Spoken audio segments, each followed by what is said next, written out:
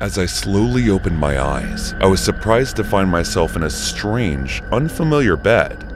I quickly checked myself to make sure I was fully clothed and took a sigh of relief that I was. I noticed my bag sitting on the side table, so I checked it too to see if everything was in there, and luckily nothing was missing. As I opened my phone to see my current location, I was taken aback that I was in Barcelona. How in the world did I end up there? I wondered, trying to recollect the events of the previous night, but to no avail.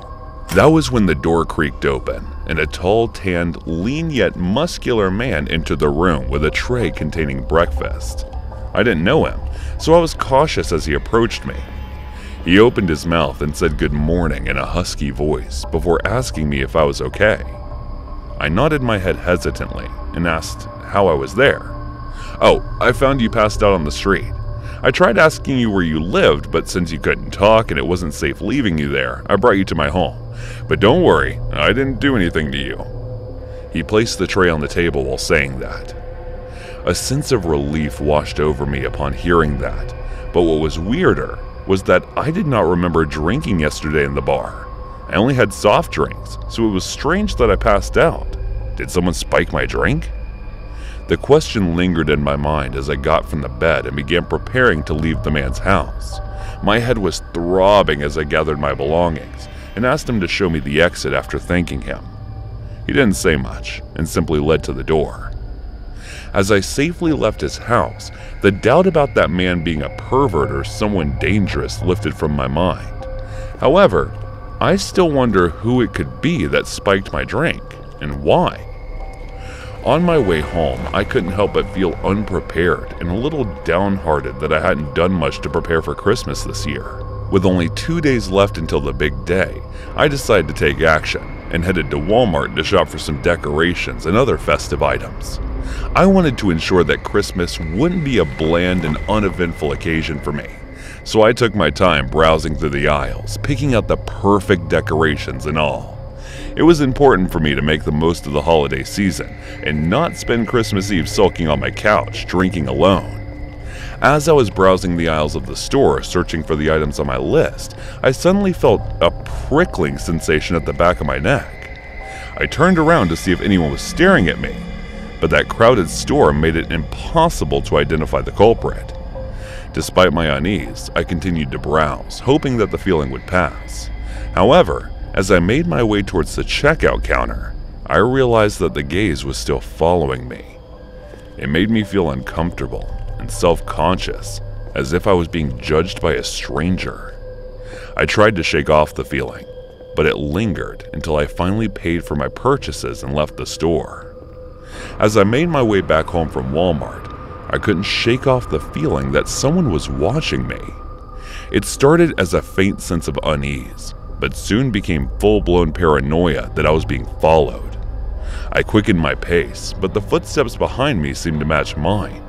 Every time I turned around, there was no one there, but the feeling persisted. The closer I got to my apartment building, the more I felt like I was being stalked.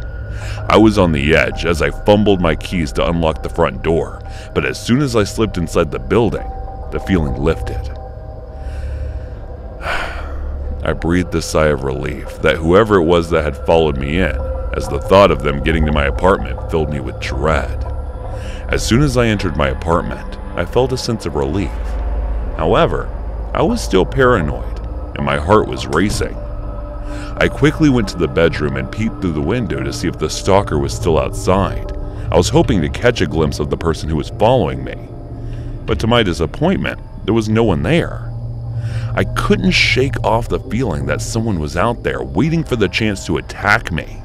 I wondered if I was just being paranoid and it was all just my mind playing tricks on me. But for some reason, deep down, I knew that my fears were not unfounded. I had no clue who spiked my drink at the bar, but I had a hunch that whoever was following me had something to do with it. My mind was racing with thoughts and questions. Who was this person following me? Why were they doing it? What did they want from me? I was scared, but I knew I had to be vigilant and stay alert. I couldn't let my guard down. On the day after I had put the Christmas decorations in my house, I realized that I had forgotten to purchase the snacks for the occasion. Although the thought of running into the stalker made me nervous, I decided to gather my courage and fetch my car keys. I stepped outside and carefully scanned my surroundings before making my way to the car. I was relieved when I saw no one following me, and so I hurriedly drove to Walmart. As I reached the entrance of the store, a strange sensation formed in the pit of my stomach. Just then, I felt a tap on my shoulder, causing me to jump in alarm. I turned around to see the man I was in the apartment of the day before standing behind me with a smile on his face. While I was grateful for his help, there was something about his presence that made me feel uneasy. Despite my apprehension, I tried to be polite and acknowledge him. What a coincidence! Do you live around here? He asked in a curious tone. But I didn't want to give him my address, so I simply nodded and excused myself before heading inside the store. However, he followed me inside, making me feel uneasy and following me to whatever aisle I went. It was weird enough that he was all the way here to shop from Barcelona, but putting up with him like that was nerve wracking. After finally managing to shake him off, I paid for my purchases and made my way back home. However, as I turned toward the narrow road that led to my apartment building, I found a car blocking my way. I honked repeatedly, but the driver didn't budge, so I decided to get out of my car and approach the vehicle. I opened the car door and walked to the car's window before knocking on it. As the mirror was pulled down, I was shocked to see the man from before. He handed me a package saying it was for me, but what was scarier was that I never told him where I live. How did you? I stuttered those words, and I started backing off. I was about to run back to my car, but everything happened so fast. He got out with a flash and put a damp cloth over my nose. His words before I blacked out were blurred, but I could hear it. It was fun seeing you so terrified.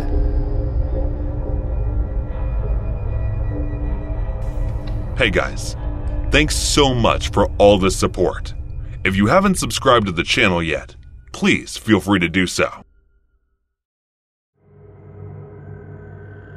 The unfortunate fate of having to work on Christmas had fallen upon me, but it wasn't just any ordinary workday. I had to wear a Santa elf costume and distribute presents to children. As an orphan, I never had a family to celebrate the holiday with, and after aging out of the foster system, I was forced to fend for myself. My life was consumed by work, and I never had the opportunity to make friends. Thus, I found myself alone on this day that held no significance to me. However, standing alongside the fake Santa and handing out gifts to children, I never anticipated that this Christmas would become a haunting memory. The clock struck late and I began my journey back home. Fatigue weighed heavily on my body as exhaustion took over. I suddenly felt a presence behind me, and my uneasiness grew. I turned around to face an empty road, and the darkness only added to my fear. It was nearly three in the morning, and I couldn't shake off the feeling that something was amiss. I continued walking forward, attempting to ignore the nagging sensation. As I walked, my lack of sleep caught up with me, and I yawned incessantly. At that moment, I heard another set of footsteps matching my rhythm. I turned around quickly, but there was no one in sight. The road seemed to stretch infinitely into the pitch black darkness beyond and my heart began to race. I was alone, and yet I couldn't shake the feeling that I was being followed.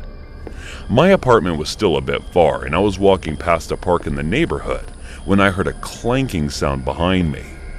For some reason, it seemed to be coming right behind me, yet sounded so far away. I gulped as I hesitantly turned my head to the side and saw another shadow similar to mine because of the illuminating streetlight.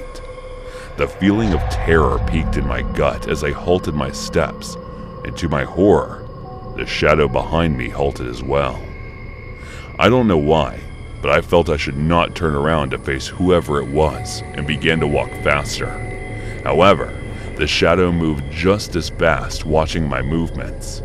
I tried to shake off the uneasy feeling and reason that it was just a coincidence, but then the clanking sound got louder and closer. My heart was pounding in my chest as I finally turned around to face my stalker. But to my surprise, there was still no one there.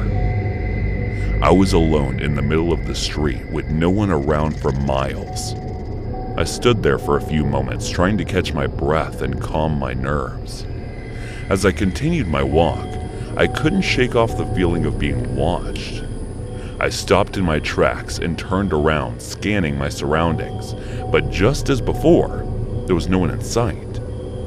I tried to shrug it off and continue on my way, but the feeling of fear lingered. While walking, I felt as if my mind had started to play tricks on me. Every rustle of leaves or creak of a tree branch made me jump. I was hyper aware of my surroundings, and I couldn't help but feel like something was lurking in the shadows. A few minutes later, the feeling of horror returned, and this time, it was stronger. I felt someone breathing down my neck. I could hear their hot breath in my ears. My heart raced as I whipped my head around, but there was no one there. The breathing sound still vividly etched in my memory. I knew I wasn't mistaken. It could have been my sleep deprived mind that made me hallucinate, but I can't say it wasn't real. The terror I felt was more real than anything I had ever experienced before. My hands were shaking as I fumbled for my keys. My eyes darted around, searching for any sign of danger. I quickened my pace and practically ran toward my apartment, my heart pounding in my chest. My heart was beating so fast and loud that I could hear it in my ears. I was in a hurry to reach my apartment building and quickly entered the elevator. As the doors closed, I finally breathed a sigh of relief, but my heart was still racing. I couldn't shake off that feeling of being followed. My mind was racing with questions. Was it just my imagination? Or was there really someone following me? The thought of a ghost following me sent shivers down my spine. I couldn't wait to reach the safety of my apartment. As I inserted the key into the lock and turned it, my heart raced with anticipation of finally being home. Suddenly, I felt a sudden jolt to my shoulder as someone's hand grabbed me from behind. I couldn't help but jump, thinking it was the shadow that had been haunting me. But when I turned around, I saw my drunk neighbor standing there with a creepy smile on his face. Although I was relieved to see him, his unsettling smile sent shivers down my spine. I asked him if he needed any help, but he just kept smiling and slurring words. I didn't want to engage him any further, so I quickly retreated to my apartment, locking the door behind me. The rest of my Christmas night was spent in fear, every creak and groan of the apartment sending my heart racing. I couldn't shake off the feeling that something was watching me. I was relieved when the nights passed without any incident. However, my relief was short lived when the next morning I was awakened by a commotion outside. When I went to check what it was, I was met with a truly terrifying piece of news. My neighbor, who I met last night, had died yesterday afternoon. I felt a shudder down my body as I realized who I encountered was.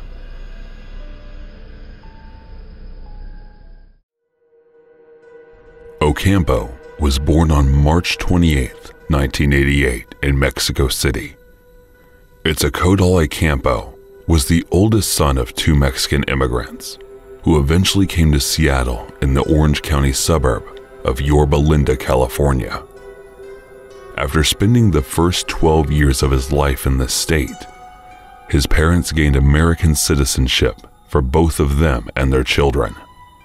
And Itzcoatl who would go on to graduate from Anaheim Esperanza High School in the summer of 2006. His high school friends would later remember Ocampo as a warm and friendly young man, and it was this demeanor that won him many friends during his education. But something happened during his school years that had a profound effect on Ocampo the attack on New York's Twin Towers in September of 2001. Following what proved to be one of the most devastating terrorist attacks in world history, Ocampo's friends noticed a distinct shift in his personality. he became dark and brooding, fostering an intense interest in the politics of the Republican Party, and particularly the foreign policies of then President George W. Bush. It was also around this time that Ocampo became a victim of a rather intense campaign of bullying by what his friends later described as a bunch of rich jocks. Whether or not this affected his decision to join the U.S. Marines is unclear, but we know that as of July 2006, he was stationed at Camp Pendleton and Oceanside, where he was attached to the 15th Regiment of the Medical and Sanitary Battalion. In 2008, Ocampo was deployed to Iraq with the 1st Supply Battalion to Iraq, but it's evident that he didn't see combat during his eight months in country. His job was to transport water and fuel the combat soldiers deeper in the field. And although he certainly faced all the dangers presented by an act of insurgency Ocampo, was never actually under fire at any point. We also know that at some point during his tour, there was an incident in which Ocampo pointed a loaded weapon at an Allied soldier. Although it's not clear which nationality the soldier was, Ocampo was severely punished for his indiscretion. He was demoted, docked pay, and assigned extra work duties his penance. Despite this worrying episode, Ocampo still received all the appropriate commendations of his tour, including the Iraq Campaign Medal, Global War on Terrorism Service Medal, and the National Defense Service Medal. His superiors apparently viewed his outbursts as an unfortunate but unavoidable part of serving in an active war zone. Ocampo was stressed he acted out, but he didn't hurt anyone and he took his punishment like a man. And it seems his later behavior is better explained by an event which occurred back in the States. After returning to Camp Pendleton, Ocampo experienced a traumatic brain injury. When the latch on his 7 ton failed to lock and slammed into the back of his head, he was medically discharged at the worst possible time rent as the U.S. was falling into a recession. Ocampo struggled to find work, eventually settling for low paid work as a landscaper. All the while, his life fell apart around him.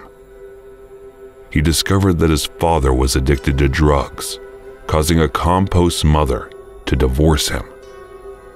They also lost the house as a result of this addiction, and the pain this must have caused its total is frankly immeasurable. Around July 2010, Ocampo began to show signs of complex PTSD. First noted when he began an exhibit what he might call deviant behavior. A serious factor for the deterioration of his mental state was the death of his close friend Patino, who died in Afghanistan's Helmand province during combat in the summer of 2010. Following his death, Itzcoatl became depressed and increasingly dependent on alcohol. Over the next two years, unable to adapt to a normal life and hold a job, he depended on income from relatives and refused treatment from psychiatrists and system he was unqualified to be diagnosed for PTSD because he did not fight in combat. By the end of 2011, his mental state had deteriorated sharply to the point of developing hypochondria and showing signs of clinical delirium. Then, on October 25th of 2011, Ocampo suddenly appeared on the doorstep of his old high school classmate, 24 year old Adair Herrera. Adair lived with his 53 year old mother, Raquel, along with his older brother, Juan, and both were present when Ocampo unexpectedly lunged at them, stabbing both Raquel and Juan more than 30 times. The Herreros' neighbors witnessed the murders, providing police with a description of the offender's appearance and his clothing. But because their Adair no combo were similar in appearance, the grieving Adair was arrested in the shocking display of police negligence.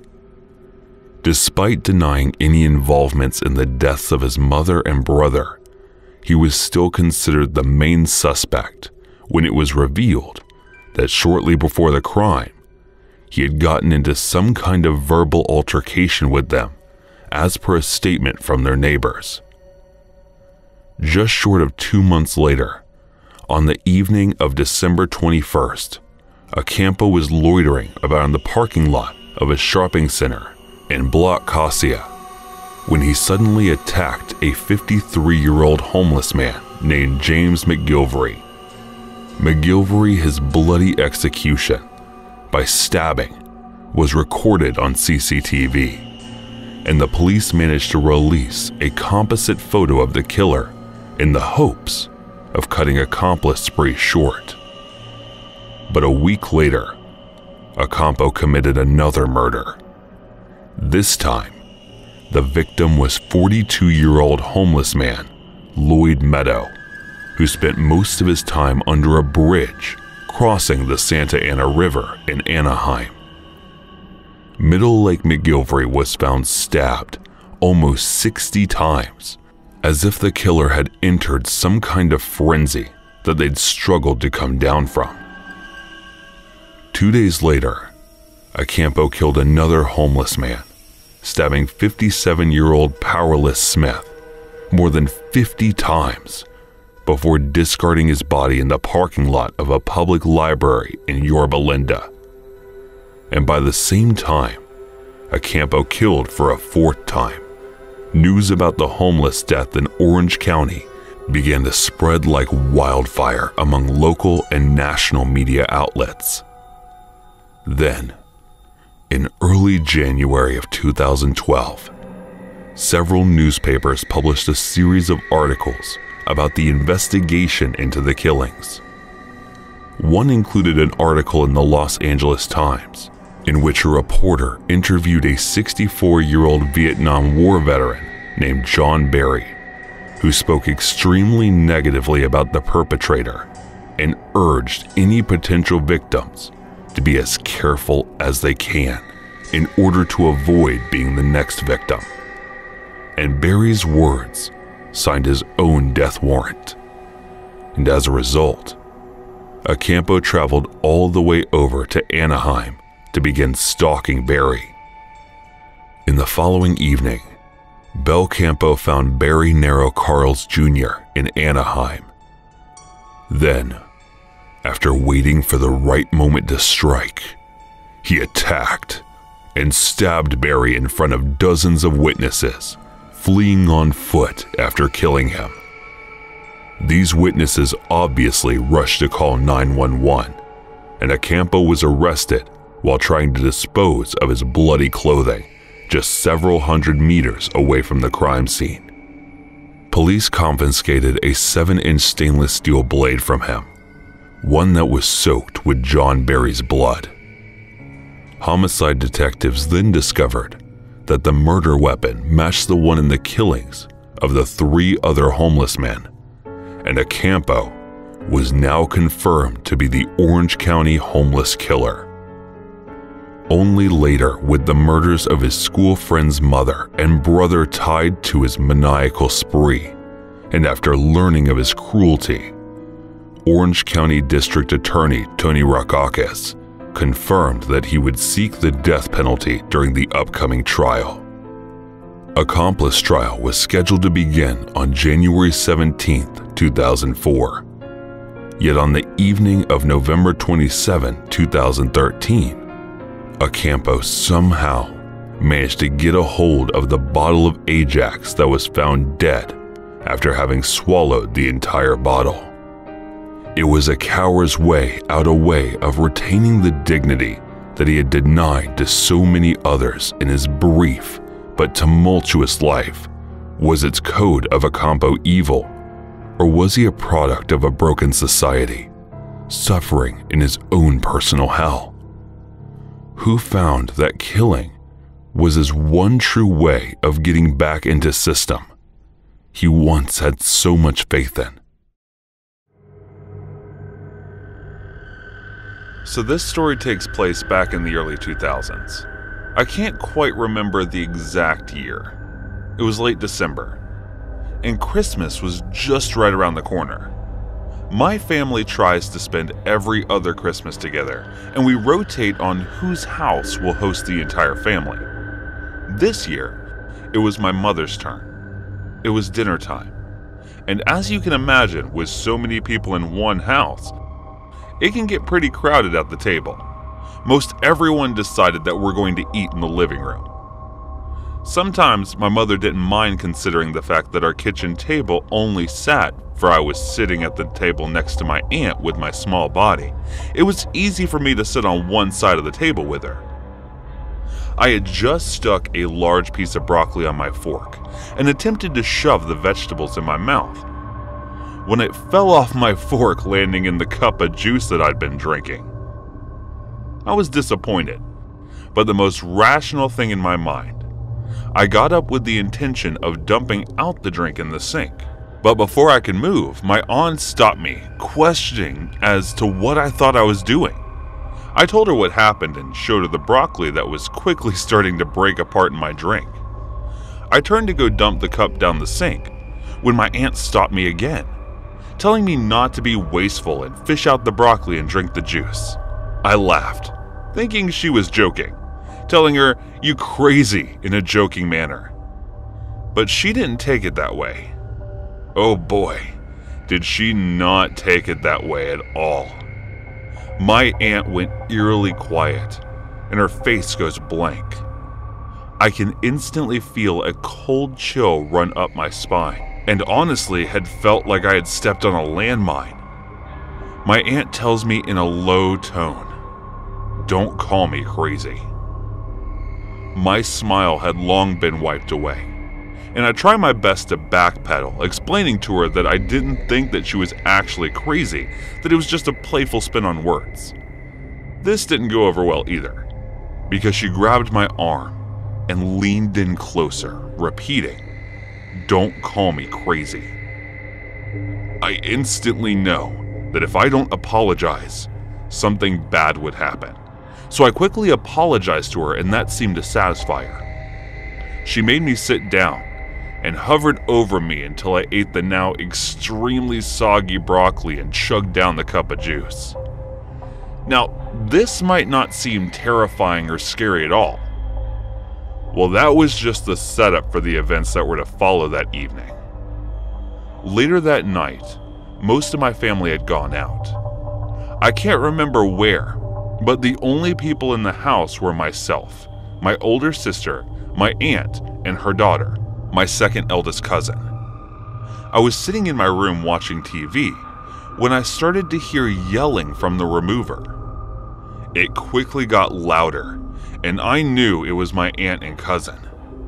I'm not sure what started the whole thing, but I do know why it had escalated the way it did. The two were having an argument over something when my cousin told my aunt she was acting crazy, as she did the same thing I had done earlier. But unlike me, my cousin didn't apologize. She tried to explain to her as I did, but just like before, she wasn't having any of that, and my aunt exploded. I'm sitting in my room terrified when I hear a loud bang from the wall causes me to jump. After the bang came my cousin's screams of pure terror. I was too scared to move until I heard Russian footsteps. I look at my door and soon see my sister running by. Next thing I know, I can hear my aunt screaming and ranting at the top of her lungs. My sister pleading and begging her to stop, and the Psalms my cousin along with a loud thud noise. I finally get enough courage to leave my room and look into the next room. And what I saw was an image seared in my mind to this day. My cousin was on the bed in the fetal position, trying to make herself as small as possible, just sobbing. She cried so much that she left a large wet spot on the bedspread. My sister's laying on top of her, using her own body as a shield, and my aunt is hovering over the two, just screaming like a madwoman, and in her hand is one of her shoes. It was one of those women loafers with a light sole and slight heel. She was using the shoe to beat both my sister and cousin, swinging away trying to make contact with any amount of skin. She was really just trying to get my cousin, but didn't care that she was hitting my sister in the process. I'm frozen in absolute fear, never having seen anything like this before. Sure, mother got mad at me and I got the occasional spanking, but nothing like this. I'm afraid to even say anything and fear that my aunt will turn on me and start attacking me. I slowly start to back away when I look to the ground that caused my eyes to widen. On the floor was my sister's jewelry box. It was all wood and had magnetic drawers to prevent the jewelry from spilling out if you knocked it over. It was just laying on the round, all the drawers open, and jewelry spilled on the floor. I looked at the box, then to my aunt, and quickly figured out what that loud banging noise I heard earlier was. Yes, my aunt had thrown my sister's jewelry box at my cousin.